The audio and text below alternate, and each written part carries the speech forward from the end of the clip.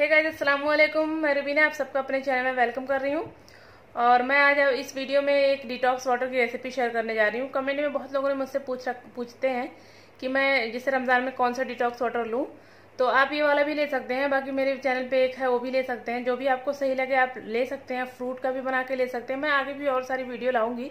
लेकिन ये बहुत सिंपल सा डिटॉक्स वाटर है, आप इसको बना के लीजिएगा आपको डिहाइड्रेशन नहीं होगी, आपको जैसे भू, प्यास जो पानी की कमी रहती है हमारी बॉडी में, उससे इससे नहीं होगी। तो आप इसको बना के ले सकते हैं, बहुत ही सिंपल सा, मैंने कुछ वैसा इंग्रेडिएंट नहीं डाला है, बस सिंपल सा है, बस इसमें सब्जा यूज़ किया है, जो बेजिल सीड्स होता है, आपके पास चिया सीड बेजिल सीड जो भी है, आप यूज़ कर सकते हैं। और हाँ आप लोग बताइएगा कि पहला रोज़ा आप लोगों का कैसा गया? और मेरा तो बहुत अच्छा गया, क्योंकि थोड़ा मौसम सही है, जानते हैं इस टाइम लॉकडाउन है तो ज़्यादा गाड़ियाँ वाड़ियाँ नहीं चल रही हैं और होटल वोटल सब हमारे घर के आसपास बहुत ज़्यादा होटल है तो गर्मी बहुत ज़्यादा होता हो जाती है। तो इस साल कुछ बंद है तो इसलिए गर्मी उतनी नहीं हो रही है। प्यास तो लगती है क्योंकि मैं ज़्यादा पानी पीती हूँ तो मेरे, जैसे मेरे, मुझे पानी की थोड़ी सी मुझे कमी लगने लगती है रमज़ान में।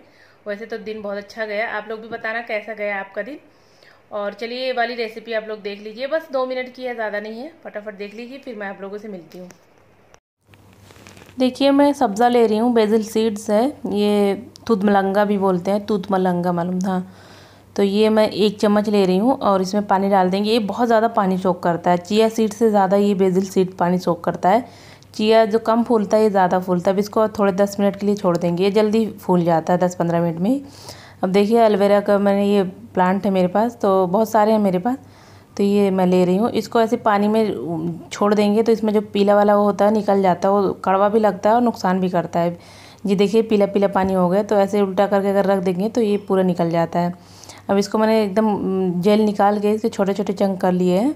अब इसको एक, जिसमें मैं जार में बना रही हूँ, उसी में डाल दी डाल दूँगी। आपके पास अगर एलोवेरा जूस है, ये वाला जैसे प्लांट नहीं है तो जूस होगा तो जूस भी यूज़ कर सकते हैं दो चम्मच। अब ये जो बेजिल सीड्स मैंने भिगो के रखी थी, अब ये इसमें आधी डाल दी है। पूरा नहीं डाल रही हूँ, ज़्यादा है ये। तो ये आधा इसमें डाल दिया है और नींबू काट के रखा था, स्लाइस दो तीन स्लाइस वो डाल दिए। और ये पुदीने के पत्ते हैं, इससे रिफ़्रेशिंग ड्रिंक बनेगी एकदम से। और जानते हैं पुदीना बहुत ज़्यादा हेल्थ के लिए अच्छा होता है। और गर्मी है, रमज़ान गर्मियों में याद रहा है, जानते ही हैं। तो इससे थोड़ा से आपकी बॉडी को ठंडक भी मिलेगी।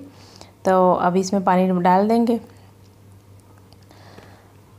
आपके साथ मैं और भी आज आगे डिटॉक्स की रेसिपी डिटॉक्स वाटर की रेसिपी शेयर करूँगी, जैसे फ्रूट बेस वाली जो होती है।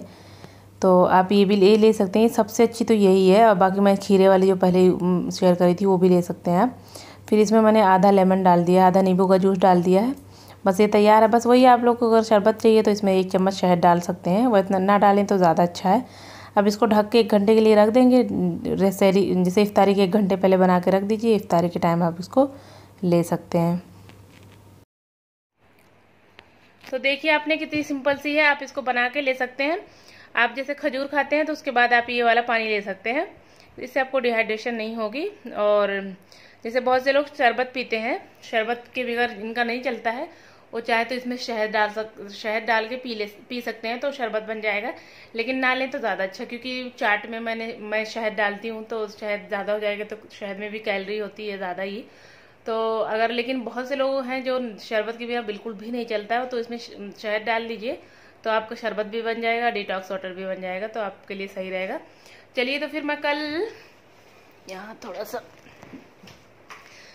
कल मैं शहरी की रेसिपी आप लोगों के साथ शेयर करूँगी। शहरी की रेसिपी क्या पूरा जो मैं शहरी में जैसे ले रही हूँ, जैसे मैं अपना रूटीन आपको शेयर करूँगी, उसके बाद इफ्तार का करूँगी।